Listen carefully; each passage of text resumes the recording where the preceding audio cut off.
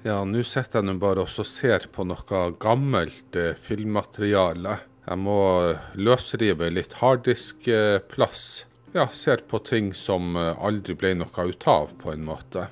Og eh, når vi starta opp eh, Lillys Food on Wheels, så var jo planen også at det skulle være en, en webserie. Og at vi, at vi skulle ha mye innhold. Og at det skulle være en spennende eh, serie. Og der må jeg jo også si det at eh, jeg gjorde en, eh, en stor feil. Altså, jeg leser jo Prøver så ofte jeg kan å lese i boka 'Think and Grow Rich', da det er ei veldig bra bok. Det handler så mye om så mye mer enn det å bare bli rik.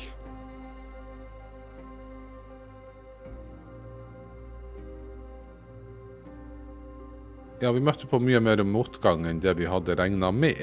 Og det resulterte i at eh, jeg kutta ut hele serien. Og det jeg mener å si, er det at eh, det er kanskje når man møter på motgang, at det er da man skal stå på.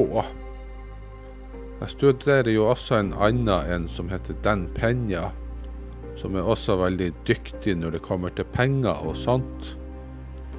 Dan Penya snakker om et fenomen som han kaller for 'to melt as a snowflake when you are under pressure'. Poenget hans er det at når man møter på motstand, det er da man virkelig skal kjempe og stå på. Og Derfor kommer jeg aldri til å gjøre noe sånt igjen, at jeg gir opp.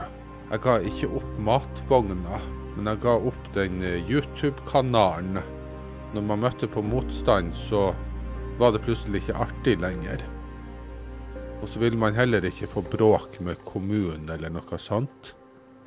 Men så er det nå sånn veldig ofte at når man møter på noen utfordringer, så finnes det veldig ofte andre løsninger. Og for vår del så ordna det seg jo på den måten at vi kunne stå utafor huset vårt og selge der. Og det gikk ganske bra òg, inntil covid-19-alarmen slo ut for fullt i dette landet. Vi går en ny framtid i møte, og det kommer til å bli mange forandringer. Jeg tror og håper at vi går en mye bedre verden i møte.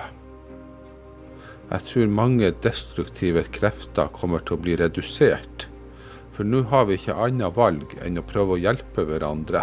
Og web-TV-serien 'Love Is All You Need' den er kommet for å bli.